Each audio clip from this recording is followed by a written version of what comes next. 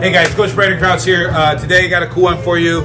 Gonna help you tackle your very first pull-up. I'm gonna show you how to build yourself up to it and then way beyond that first pull-up until you hit those double digits, 20, 25 and beyond, all right? So stay tuned.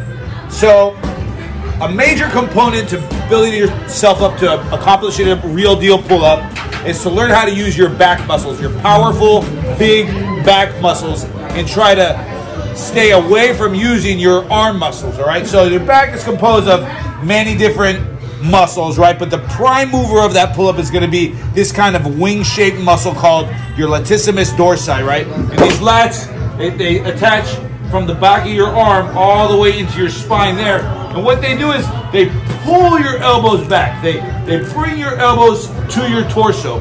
And that's really the crux of getting the power necessary to get this pull-up off. So I'm gonna do a pull-up for you and I want you to pay attention to the form that I put myself in.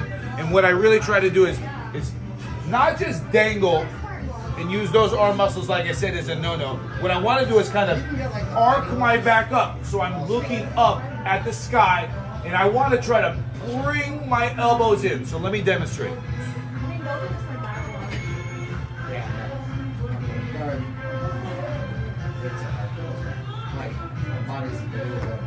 Hope you could see how much my back muscles were really having to work there to accomplish that movement.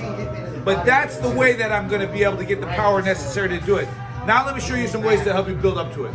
So if you have one of these kind of rubber bands, they're really useful, all right? You can attach it to the pull-up bar you're working. What you want to do is you can maneuver and get your knee into that strap. Let yourself dangle because you want to start from that dangle. Like I said, arc yourself up, use your back muscles to come up like this. But it's like, it hit me right in the soul.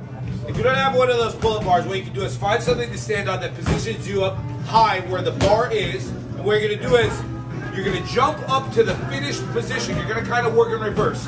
You're gonna start here, and you're gonna slowly, eccentrically drop yourself down. And this is really gonna stress those muscles necessary to, to aid you in getting that pull-up. So again, jump yourself up, slowly drop down, repeat.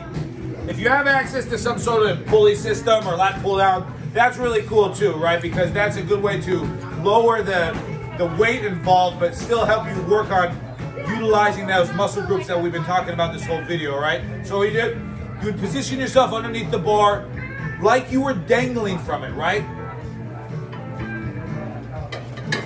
And then you would bring that down here.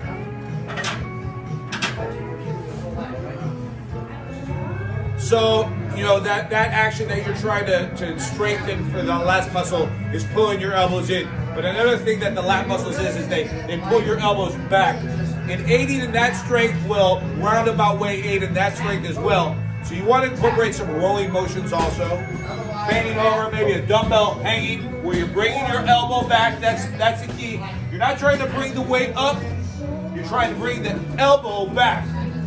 You don't have access to like dumbbells or anything like that, you can find something to invert yourself on. And then that same concept from this dangling position, bringing your elbows back. So incorporate all this stuff, help build up your very first pull-up and beyond, all right? Like I said, you keep going, you'll be hammering around double jigs, no problem. And if you have a beautiful daughter like I do, you can certainly use that for some baby weight. Come on, boy, let's show you.